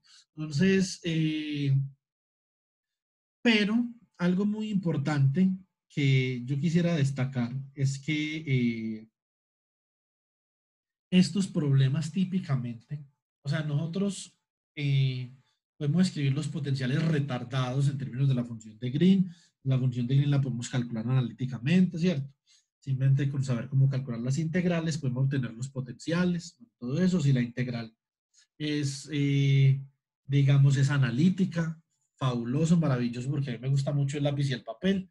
Si no es analítica, pues entonces tenemos que acudir a algunas formas de solucionar esto. Entonces, eh, en este tipo de problemas, nosotros comúnmente, entre más realista sea la situación, más nos vamos a alejar del, del trabajo analítico, ¿cierto? Entonces, digamos que eso es un pesar porque en algunos casos, más que todo en materia condensada y en materiales, eh, digamos que lastimosamente el trabajo en física o la investigación en física se ve confinada a correr un código.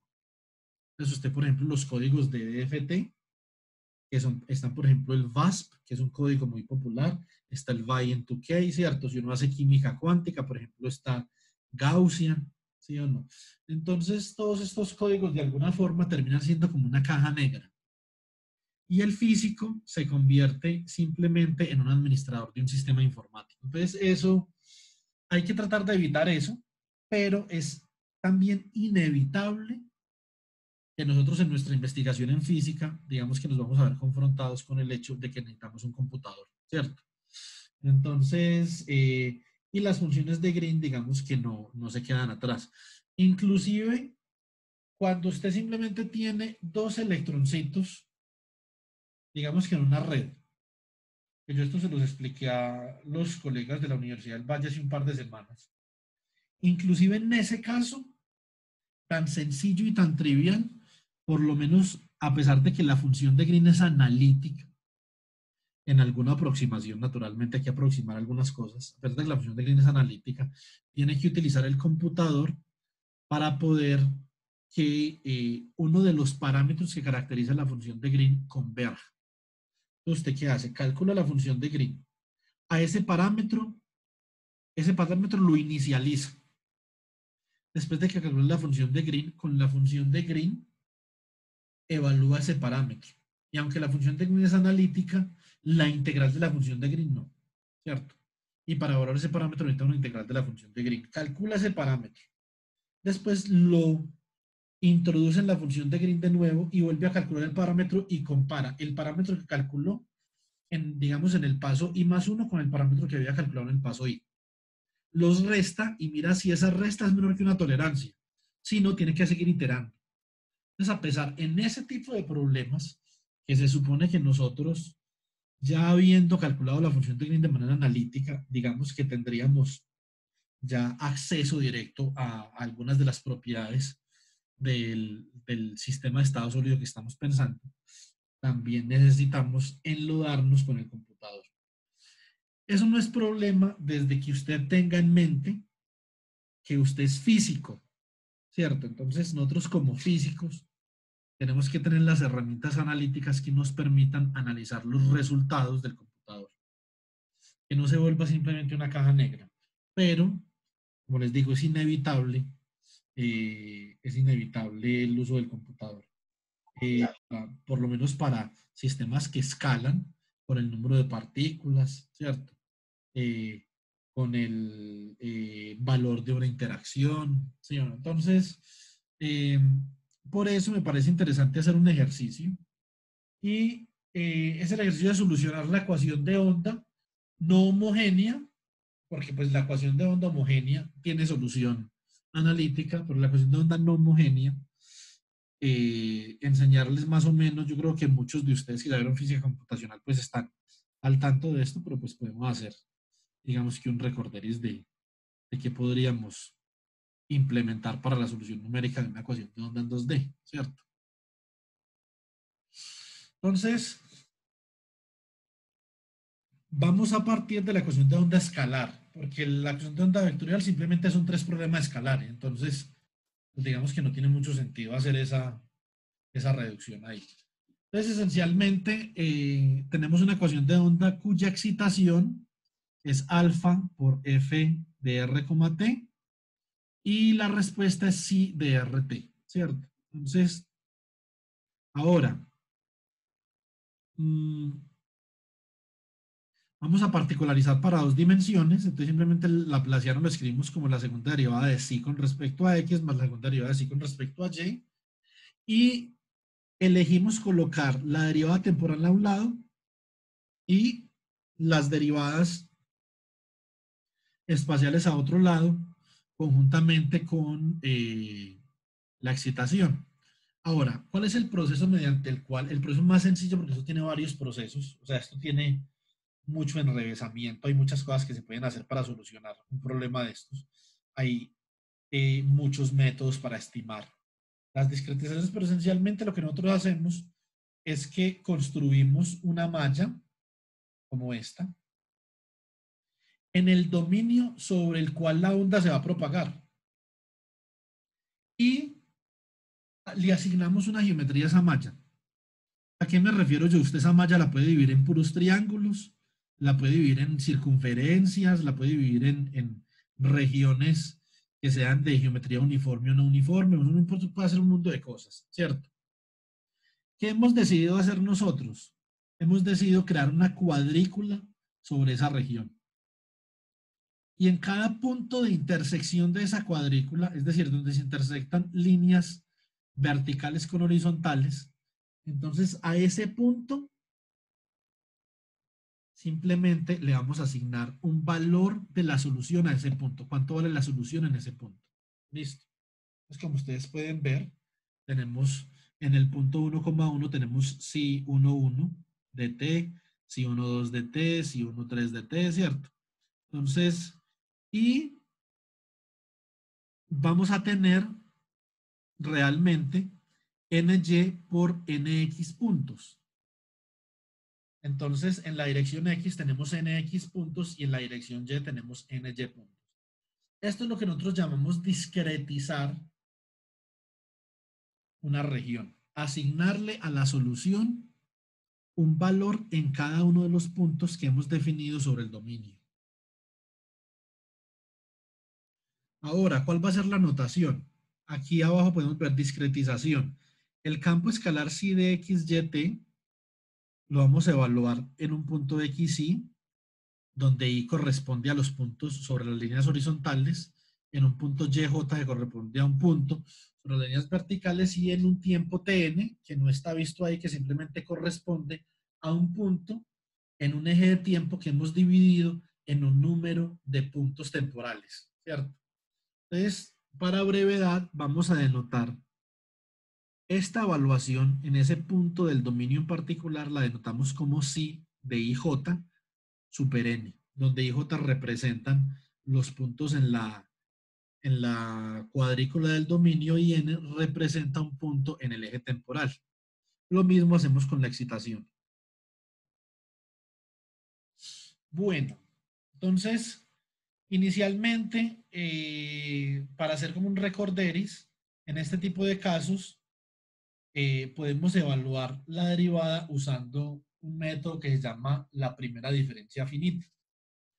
Que simplemente expresamos la derivada desde su punto, digamos, de vista más eh, fundamental o desde primeros principios como la diferencia en las magnitudes del campo escalar entre dos puntos sucesivos o, o entre dos puntos vecinos dividido por eh, el espacio que hay entre esos dos puntos que es delta x. Y lo mismo lo hacemos para la derivada con respecto a y. Entonces acá podemos ver bien que cada uno de estos puntos esencialmente tiene cuatro vecinos, ¿cierto? Cuatro vecinos próximos, cuatro nearest neighbors por ejemplo, la evaluación del campo sí en el punto IJ super N tiene un vecino hacia la izquierda, que es sí sub I menos 1, J super N, un vecino hacia la derecha que es sí sub I más 1, J super N, donde entonces I naturalmente está variando la dirección X. Tiene un vecino en la parte superior que es sí sub I, J más 1 super N, y un vecino en la parte inferior que es C sub I, J menos 1 super N. Entonces, pues esencialmente lo que sucede, y aquí tenemos, digamos que en una lupa tenemos esa, esa parte de la grilla que hemos discretizado, ¿cierto? Entonces, ahora, ¿qué, nos tiene que ocupar? Eh, mirar a ver cuáles son los términos en la ecuación de onda que tenemos que discretizar. No tenemos que discretizar las primeras derivadas porque no hay tenemos segundas derivadas y excitación. Entonces, esencialmente vamos a construir un esquema para las segundas derivadas. Vamos a recordar que una serie de Taylor para una función f de x alrededor de x igual a a se puede expresar como f de x igual a f de a más f' de a por x menos a más f doble prima sobre 2 factorial por x menos al cuadrado, el término de tercer orden. Bueno, ustedes ya me imagino que están conscientes de esto. Pero para desquitar la segunda derivada espacial, vamos a hacer una cosa. Vamos a considerar una función g de x y vamos a expandir esa función en x más delta x y en x menos delta x alrededor de x. ¿Eso qué significa? Que en vez de x en la serie de Taylor, vamos a escribir x más delta x. Y en vez de a, vamos a escribir x. ¿A qué se, digamos que aquí hace referencia a esto? Que usted está, por ejemplo, en un punto de x más delta x o x menos delta x, ¿cierto? Y quiere saber ese punto, cómo se está viendo desde un punto x. O sea, desde un punto delta x hacia la izquierda o delta x hacia la derecha. Desde donde usted, digamos, se está ubicando. Entonces, eh, consideramos los dos primeros, los, eh, o segundo orden en las series de Taylor, para g de x más delta x y g de x menos delta x, sumamos las dos ecuaciones, nos da que g de x más delta x más g de x menos delta x es 2g de x, más la segunda derivada evaluada en x por delta x al cuadrado. Ahora, si despejamos la segunda derivada, observamos que la segunda derivada es g de x más delta x menos dos veces g de x más g de x menos delta x sobre delta x al cuadrado. Eso en palabras castas, ¿qué significa? Eso significa que si yo estoy en un punto x, la segunda derivada depende de un punto hacia adelante, de un punto hacia atrás y del punto donde estoy, ¿cierto? Entonces vamos a la discretización. Por lo tanto, en este punto, en toda la mitad, donde yo estoy en si de i, j super n, la segunda derivada ahí depende del valor del, campo escalar ahí, del valor del campo escalar un punto hacia la izquierda y del valor del campo escalar un punto hacia la derecha. Lo mismo para el caso de Y. Para el caso de Y depende del valor del campo escalar ahí, del valor del campo escalar una posición hacia arriba y una posición hacia abajo. ¿Cierto? Entonces, así escribimos eh, las dos derivadas espaciales y, la derivada temporal, digamos que obedece una lógica similar, sino que en este caso eh, depende del valor del campo en n, en n más 1 y en n menos 1, es decir, en un tiempo hacia adelante y en un tiempo hacia atrás y en el tiempo en el que estamos hablando las cosas. Entonces, ¿qué podemos hacer? Para simplificar la situación, vamos a considerar que esa discretización que nosotros vemos es muy uniforme. Por lo tanto, el espaciamiento entre puntos en X y puntos en Y es igual y lo vamos a hacer igual a delta S. Reemplazamos y entonces podemos, digamos, reunir términos semejantes entre la derivada en X segunda y la derivada en Y segunda, como vemos en la segunda línea de esa ecuación. Y multiplicamos por delta t al cuadrado ambos lados y obtenemos despejando si sub ij de n más 1. Entonces obtenemos los términos que venían en la derivada temporal los puse en rojo para que ustedes más o menos les puedan hacer el seguimiento. Los términos diferenciales los puse en morado y los términos que venían de la derivada espacial los puse en azul. Ahora, típicamente bueno, acá hay un pequeño error. Este CFL, esto ahorita lo tengo que corregir porque esto es importante, es realmente C por delta T sobre delta S. O sea que este C al cuadrado no va ahí, sino que va dentro CFL, ¿cierto? Ese número se llama el número de Kuhan-Friedrich-Levy, ¿cierto? Es, eso es porque es importante. O sea, digamos que usted le pudo haber puesto a eso beta y listo. Entonces, no tiene que ponerse con el CFL. Porque este número, cuando ustedes vayan a buscar, este es un número que determina los criterios de estabilidad para la solución numérica en este esquema. Entonces digamos que es importante asignarle el nombre que tiene, ¿cierto? Ahora, así nosotros, ¿qué podemos hacer? Conociendo todos los puntos si sub ij para un tiempo n y para un tiempo n menos 1, podemos conocerlos para un tiempo n más 1. Entonces, esencialmente lo que hace este esquema es que propaga en el tiempo a si de ij, coma super 0 y coma super 1 también, ¿cierto? Entonces, eh, lo propaga en el tiempo. Entonces, eh, esto es similar a lo que uno haría con la ecuación de onda de Schrödinger, que simplemente con una solución del estado fundamental uno la propaga en el tiempo y ya. ¿Cuál es la diferencia entre, esas, entre la ecuación de onda de Schrödinger y la ecuación de onda que nosotros hemos venido trabajando? Que en esta ecuación de onda que nosotros hemos venido trabajando, nosotros arbitrariamente podemos fijar la condición inicial. Si nosotros tenemos una cuerda, por ejemplo, tenemos una cuerda tensa y la tensamos en toda la mitad, esa es nuestra condición inicial.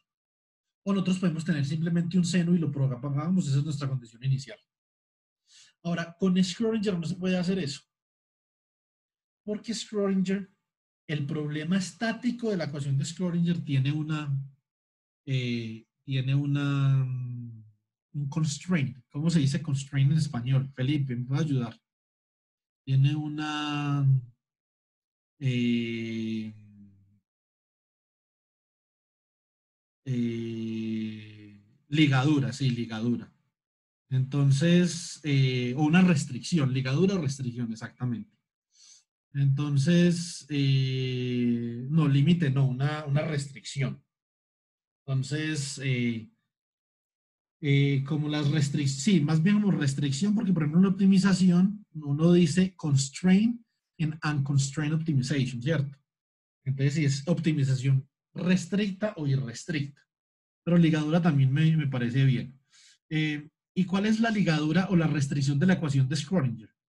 Esencialmente, que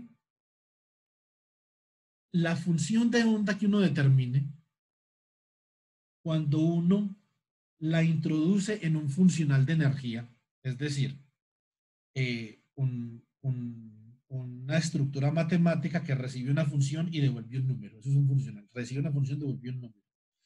Entonces, eh, eh, ese número para esa función de onda tiene que ser el más pequeño posible. Entonces, no cualquier función de onda sirve.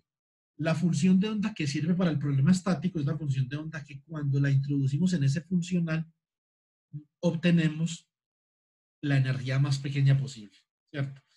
Por lo tanto, en el problema de Schrödinger hay que determinar cuál es esa función de onda que minimiza el problema de energía. En la ecuación de onda clásica, uno simplemente parte del hecho de que uno tiene una condición inicial y propaga esa condición inicial bajo el supuesto de que es una onda. Entonces ahí se acabó el problema, ¿cierto? Entonces, hasta ahí digamos que llegó la situación. Entonces, esa es una diferencia fundamental. Otra que podemos trazar, además del que una es observable y la otra no, una de las soluciones, ¿cierto? Entonces, acá tenemos las condiciones de frontera, estas llaman condiciones de frontera de Dirichlet, ¿cierto? Entonces, ahora, nosotros podemos comenzar, por ejemplo, con un seno, con una, una excitación f de i, j, que sea un seno. Un seno localizado en toda la mitad del contorno. Y como nosotros podemos observar, entonces esa perturbación inicial que nosotros hemos hecho se comienza a propagar alrededor de la mitad del dominio, ¿cierto? Se comienza a propagar. En la segunda gráfica ya vemos que está llegando a las paredes, digamos, de la cavidad en la que estamos simulando la onda. En la tercera gráfica ya vemos que antes de que las fronteras absorban la, onda, la están reflejando.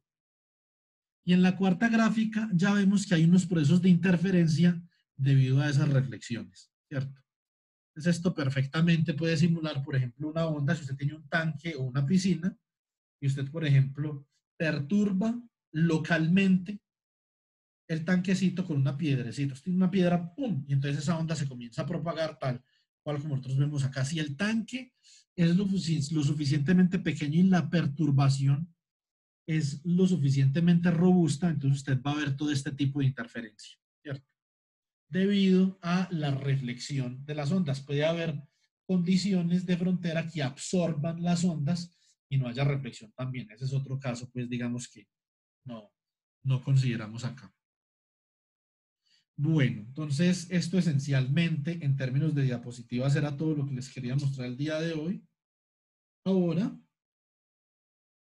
vamos a ver cómo funciona este script de MATLAB donde yo soluciono esta ecuación de onda usando este método, este se llama el método de las diferencias finitas, ¿cierto? O algunas personas le llaman el método de Crank-Nicholson, lo que pasa es que yo no estoy de acuerdo con eso porque el método de Crank-Nicholson tiene una particularidad, que una vez que usted ha discretizado cualquiera de las derivadas temporales o espaciales, entonces esa discretización la reemplaza por el promedio. Cada discretización, es decir, cada eh, de X, cada sí sub IJ de N la reemplaza por el promedio temporal entre n más un medio y n menos un medio. Entonces eso es lo que es Crank Nichols. Pero aquí no hicieron eso. Entonces digamos que de todas formas la solución es una buena solución desde que este número que tenemos acá, que se llama CFL, ¿cierto? Entonces sea un número que eh, digamos que cumpla con las restricciones, los constraints o las ligaduras de... Eh, eh, estabilidad para este esquema de propagación en el tiempo. Entonces, como vemos, en este caso de las ondas no hay que solucionar ningún problema estacionario, no como en el caso de Schrödinger, sino que simplemente es un problema de evolución temporal, cómo evoluciona en el tiempo, digamos que esta cuestión. Entonces, ahora, en la página, eh, aquí podemos ver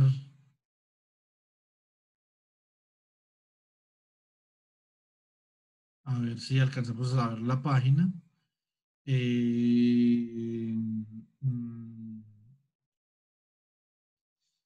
bueno, mm, entonces en la página podemos ver que tenemos el escribir para un resonador de campo eléctrico, simplemente la gráfica del resonador con la cajita. ahí no hay nada, nada importante calculado. Las cuerdas en una onda tensa, como vemos acá, fue eh, lo que hicimos el día de ayer. Mm, lo que hicimos el día de ayer está en este pequeño script, simplemente es la serie de Fourier para esa onda tensa. Ahorita vamos a comparar la solución en serie de Fourier con la solución numérica de esta ecuación en una dimensión. Entonces, y esta es, este es el script de las ondas planas,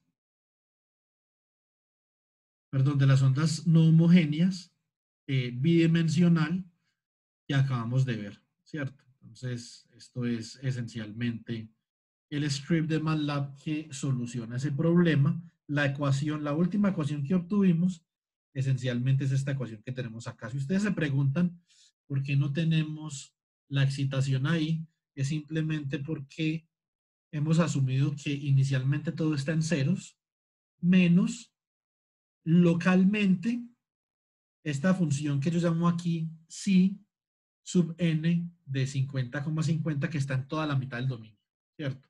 Entonces esa va a ser nuestra excitación. Simplemente la excitación de nosotros va a equivaler a la condición inicial. Bueno, entonces el profesor Osman acaba de mandar la asistencia para que lo tengan presente. Muy bien.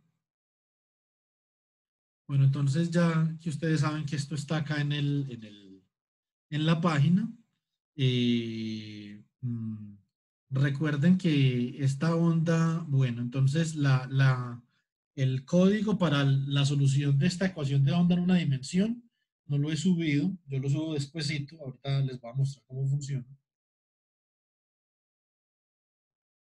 Entonces, simplemente miremos, por ejemplo, este código para la ecuación de onda en 2D con eh, condiciones de frontera que reflejan las ondas. Vamos a ver dónde está la condición inicial. Eh, bueno, entonces, ¿qué condición inicial hemos asumido acá?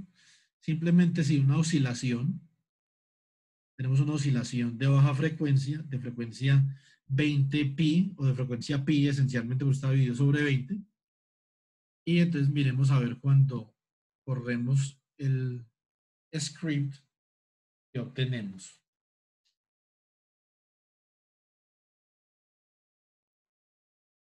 Entonces ahí se creó la perturbación, esa es la perturbación inicial. Y a partir de la perturbación inicial, entonces comenzamos a ver que eh, esta onda se comienza a propagar.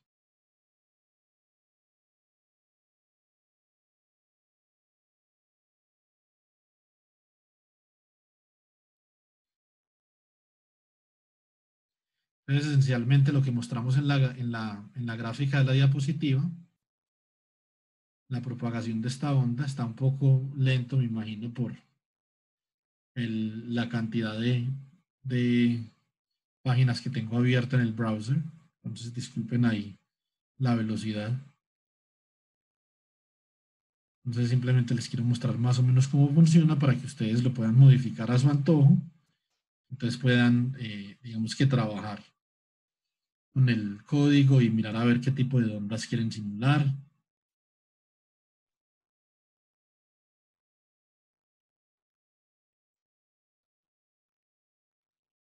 Entonces ahí ya las ondas están llegando a las fronteras. Entonces se reflejan. Y después de que las ondas se comienzan a reflejar, entonces comienza a haber un patrón de interferencia, ¿cierto?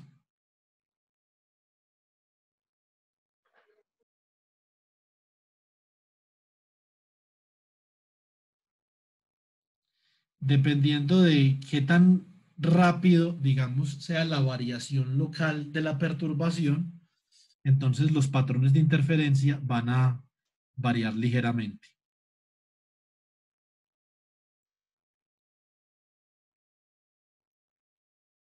Bueno, entonces es más o menos el, comportamiento de la onda en 2D.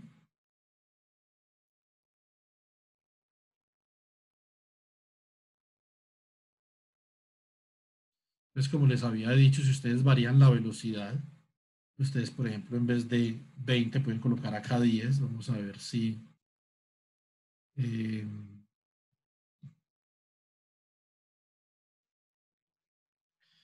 la, la tasa de variación de esa perturbación local en el tiempo. Entonces, digamos que va a ser, eh, va a ser ligeramente diferente, va a ser la mitad de lo que era antes, por lo tanto, entonces como ustedes pueden observar, eh, también la, la, el patrón o las correlaciones espaciales, digamos que aumentan un poquito, ¿cierto? Entonces ahí hay una escala de correlaciones espaciales que aumentó debido a que la variación temporal es más lenta.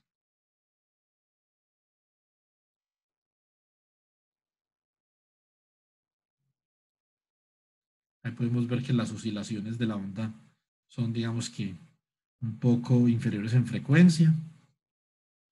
Igualmente, cuando llega a la frontera, entonces eh, tenemos eh, las condiciones de frontera de Dirichlet, las ondas se reflejan y obtenemos otra vez los patrones de interferencia.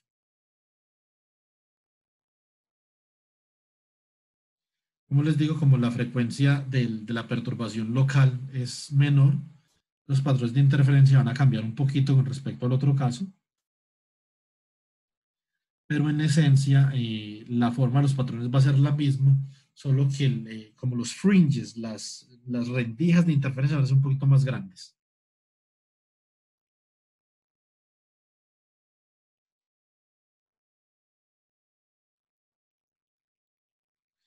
Ahí podemos ver ya ahí, digamos que cierto grado de interferencia.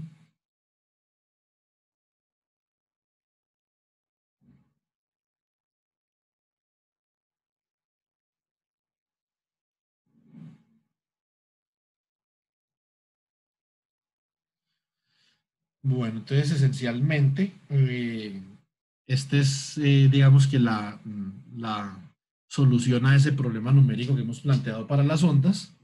Y digamos que acá en una dimensión hay varias posibilidades de condiciones iniciales. Yo les quiero mostrar varias, por ejemplo. Entonces, eh, ahí tengo varias condiciones iniciales que esencialmente es lo que estamos propagando. ¿cierto? Entonces, por ejemplo, miremos como condición inicial una condición inicial trivial. Simplemente tengo dos picos por ahí, ¿cierto? Tengo dos, dos onditas que de alguna forma se quieren propagar.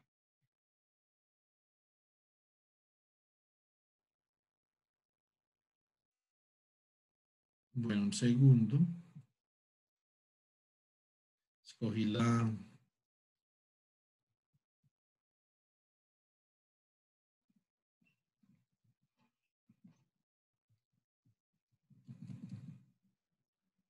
la condición inicial que no era.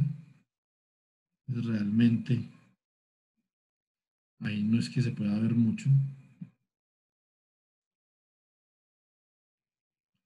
Listo, entonces lo que vamos a hacer es que vamos a activar la, vamos a ver, entonces, ¿qué teníamos por acá? Activemos, por ejemplo, la condición inicial, que son dos, dos ondas gaussianas que se comienzan a propagar en una cuerda tensa, por ejemplo, ¿cierto?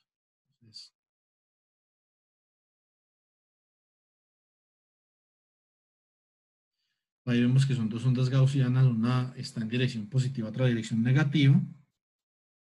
A medida que se propagan en la cuerda tensa, comienzan a exhibir interferencia.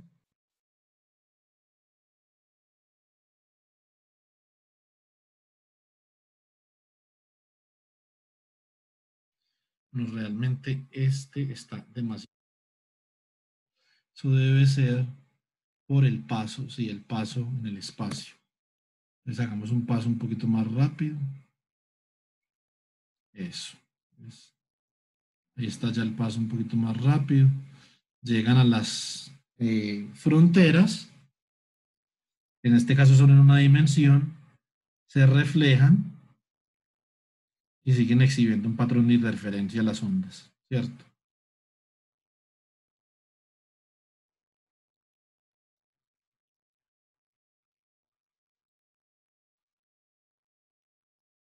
Cuando uno tiene la suficiente experiencia trabajando con ondas, uno se da cuenta que la forma como esto se está propagando indica que esto es un problema completamente lineal. Mm, digamos que una de las, eh, una de las razones es porque volvimos a la condición inicial. Entonces, después de evolucionar en el tiempo, entonces volvemos a la misma condición inicial que simplemente son dos ondas gaussianas localizadas en x igual a 3 y en x igual a 6 una en dirección positiva al eje Y, otra en dirección negativa al eje Y. Entonces, este es, por ejemplo, una condición inicial que ustedes pueden utilizar. Eh, vamos a ver qué otra condición inicial teníamos por acá. Teníamos también la de un paquete de ondas gaussianas. Bueno, aquí sí, como no se ve tan bien, entonces debemos utilizar un paso más, de pronto la simulación va a ser más lenta, pero sí tenemos que utilizar un, un paso más fino para poder que se vea bien el paquete de ondas gaussianas. Listo. Ahí se ve bien el paquete de ondas gaussianas. Ahí se comienzan a propagar. Comienzan a interferir por el centro de la región y también vamos a ver que se van a reflejar por las condiciones de frontera de Dirichlet.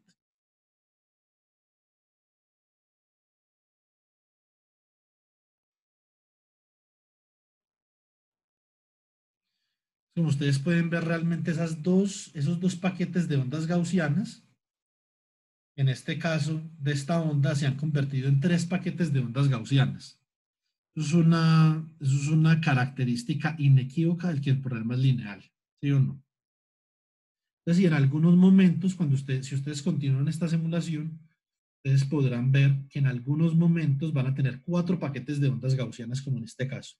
Saben que casi en este caso nosotros podemos ver que tenemos cuatro paquetes de ondas gaussianas que comenzaron de los dos paquetes de ondas gaussianas con los que iniciamos. ¿Eso a qué se debe? A que este esquema admite que un paquete de ondas se divida eh, elásticamente, como si fuera una colisión elástica, ¿cierto? Con los solitones, por ejemplo, la ecuación de Gross-Pitaev es que admite lo mismo, pero ya con no linealidades más fuertes, digamos que eso no está permitido. Entonces ahí podemos ver que se están recuperando los dos paquetes de ondas con los que comenzamos. Esencialmente podemos ver que en el tiempo hay una fase. Mientras uno crece, el otro decrece, como ustedes pueden ver. Eso es porque uno es con signo positivo y el otro es con signo negativo.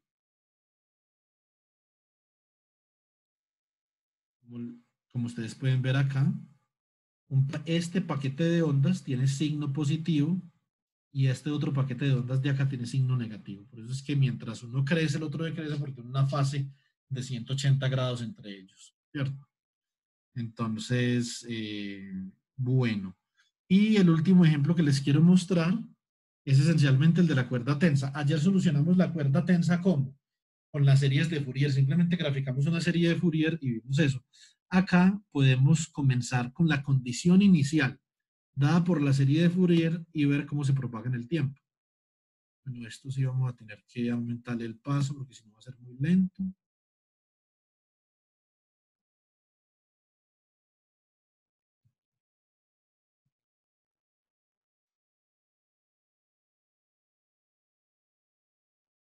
Esencialmente esa es la onda con la que habíamos trabajado el día de ayer. Es una onda que vibra eh, entre 1 y menos 1 esencialmente. Y nosotros comenzamos con la condición inicial como si fuera la onda como de una guitarra y la tensamos alrededor del centro. Y esta onda comienza a vibrar entre esos dos puntos fijos que están entre x igual a 0 y x igual a 10. Naturalmente el día de ayer podíamos hacer que esta onda vibrara con más velocidad, esencialmente porque no teníamos que propagar la onda en el tiempo, sino que simplemente escribíamos la forma de esta onda en, eh, en series de Fourier, ¿cierto? Entonces,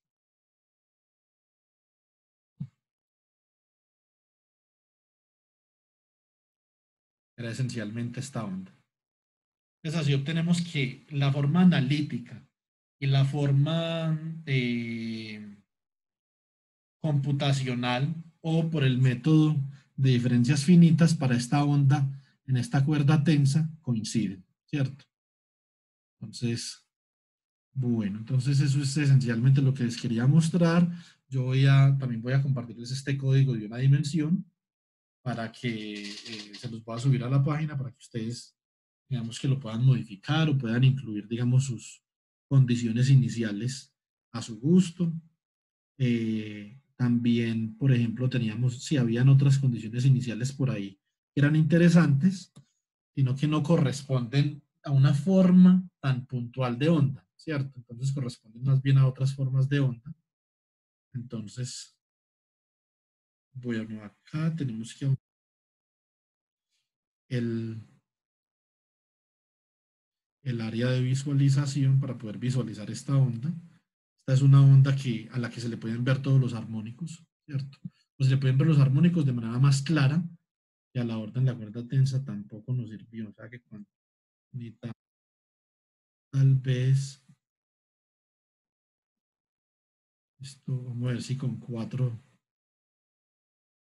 Sí, aparentemente sí. Entonces, básicamente comenzamos con algo así como un zinc, algo parecido a un zinc. Y entonces esta cuerda tensa se comienza a propagar, podemos ver los armónicos ahí claramente.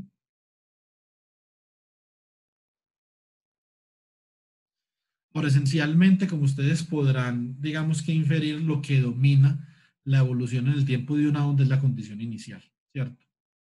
Este es un problema que está realmente eh, sometido a las condiciones iniciales. Eso es un, factor importante. Y ahora sí, por último, esta última condición inicial de acá, que creo que es interesante analizar.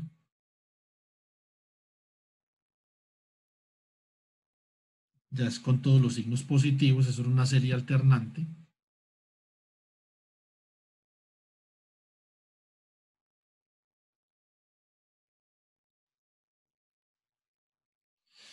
Esencialmente nosotros pudiéramos decir que esto es como una función sync, ¿cierto? Entonces ustedes simplemente pueden jugar con las condiciones iniciales. Este, este algoritmo para solucionar la ecuación de onda en una dimensión es muy similar al algoritmo que nosotros acabamos de utilizar para solucionar la ecuación de onda en dos dimensiones, Simplemente lo único que ustedes tienen que cambiar es que ya no tienen, por ejemplo, la segunda derivada con respecto a y y que su grilla de discretización simplemente es una línea recta, ¿cierto? Entonces eso es todo. Yo les voy a incluir ese algoritmo en las diapositivas también para que ustedes, digamos, puedan eh, configurar todas esas eh, situaciones. Entonces, a su gusto. Bueno, entonces voy a parar la grabación. Eh, y quedamos ahí abiertos para las